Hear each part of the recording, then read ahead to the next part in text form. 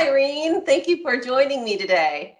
Oh, hi, Dawn. I'm so happy to be here speaking with you. As the head of communications for Khan Academy, you really are shaping the future of education. And that really means that you are um, making a huge impact on all of us, our families, our communities, and the world. And I would love to just hear a little bit about you. Clearly, education is a passion point for you. Um, it started early, early on. You know, where did that come from?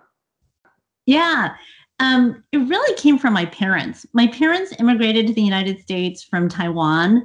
Um, education was what got them over here, and they wanted to make sure that my brother and I just had a strong education. So that was what they could give to us. And ever since then, I wanted to give back. There was a particular report, you know, three or four decades ago, was called A Nation at Risk, put out by the Carnegie Foundation, talking about how our education system was really failing our kids, um, that it was good, but really not good enough, right? And so ever since then, I've had just this passion about how do you do it not just for my kid or your kid but for everybody's kids? How do we do how do we make education be great for all all kids? Which really brings you full circle to khan academy because that's what's so striking to me is that the mission and the values of khan academy are so clear. You know how do we provide free world class education for anyone everywhere every student every classroom? And so i can imagine that clarity and mission is really freeing. At the same time, how do you stay authentic to who you are and what you stand for? Yeah, no, that is a is a great question. Um, I think one of the joys of working at Khan Academy is really getting to work under our founder, Sal Khan. You know, at first, when I first joined, I thought, oh my gosh, am I going to be intimidated by talking to this guy who's been on TED Talks and right. just inspired millions? But Sal is really he's he's authentic, he's humble, and he is willing to show vulnerability and be very approachable. So I think I think that one of the things I see Khan Academy doing well is building authentic relationships, and that starts that starts with Sal. I think we we we have our values as many organizations. You know, you have your values. Some of ours are like, you know, live our users and live and breathe users.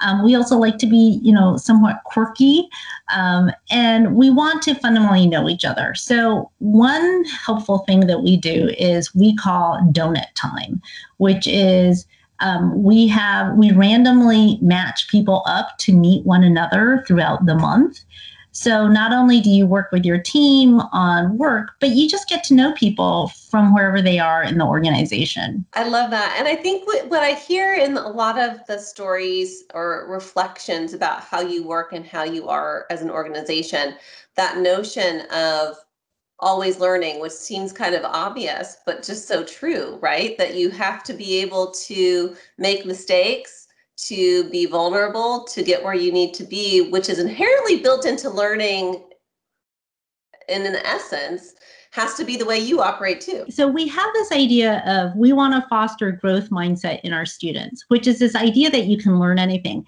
And that is literally the theme of our talent show. And so our talent show isn't just all about what are the amazing things you can do, but we like to see people's mm-hmm. hobbies. But we have had people who said, I just started to learn this instrument four months ago, and I'm going to play for you what I've learned in the last four months, right? Because we really try to create this safe space where people can kind of share out what they do, and then they just get so much support and encouragement, and we just love that. That that's a that's a highlight. That's a takeaway for anyone, including us. I, I love the idea of a talent show with the idea of like having a mindset of a learning mindset and a talent show being the quintessential example of that. So if you can have the bravery to do it and the vulnerability in terms of the the culture, there you go. Yeah, and you know, we, we yeah, we so we just set those examples. So it's when employees and leadership they were willing to expose themselves a little bit, then everybody else knows, oh, I can do that too. When I was talking to you a few weeks back, you you referenced this question that really has stuck with me um, through the process of when you're in that moment of a lot of things whizzing around with you what is the importance of a clarifying question? And I thought, oh, yes, that's my, I, what is my clarifying question that I can just always come back to center on? But there's probably so many related things that can impact that question, but you got to go right back to center on answering that question to stay true to your, your core. Yeah, educators call that what's your guiding question? Yeah. So, so there yeah. is an educational bent to that. That's, That's right. where it comes from, its origin itself. So as a communicator, then, Eirene, and navigating through all of that, lots of things coming at you. Did your role change during that that year's time, or or were things different in the way that you had to show up for the team as the the head of communications?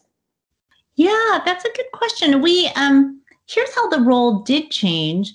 Um, at the outset of the crisis, um, my role, which is focused on external and internal communications, actually took on a cross functional project management role. So, just across all of marketing and sometimes, you know, engineering and content, how do we just deliver resources for people? Um, and that was in the first three months. Internal communications, obviously, so much more important. How do you have your executives? Show up authentic, reassuring. Your jobs are going to be okay. Take the time off that you need for your family, right?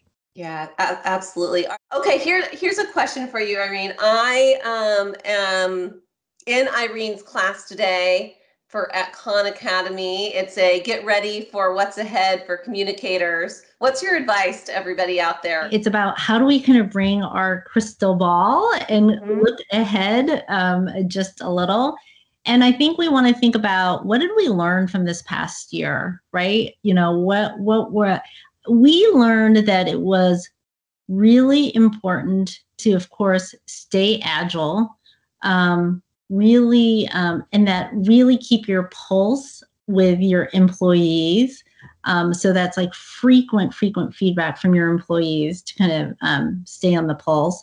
And on the media side and on the pr side it just continues to be what is the problem that journalists are trying to uncover and how can you give them solutions?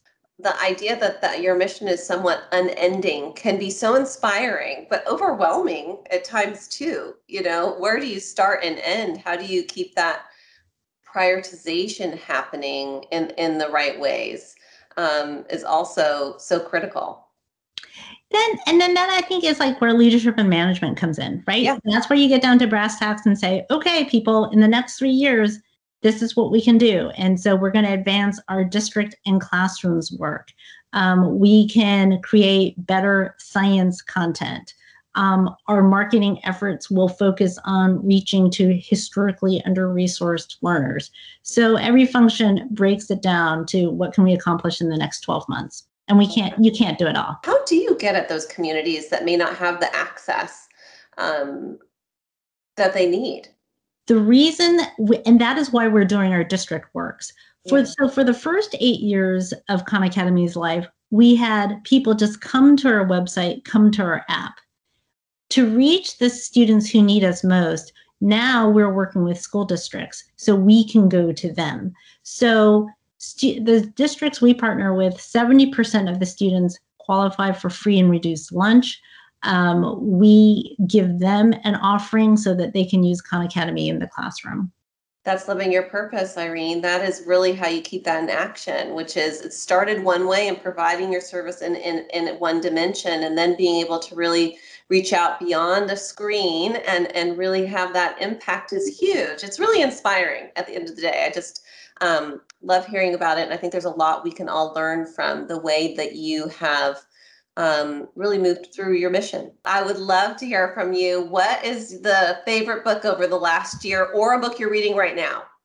Oh, I'm reading David Brooks' Second Mountain. I love David Brooks as an author and as a columnist, you know, at the New York Times we may not see eye to eye on everything, but that's precisely why I read him. And I oh, also I think that. that. he has such a fascination with um, people's life journeys. And Second Mountain is all about moral character. And he is very much willing to share how he's evolved his view.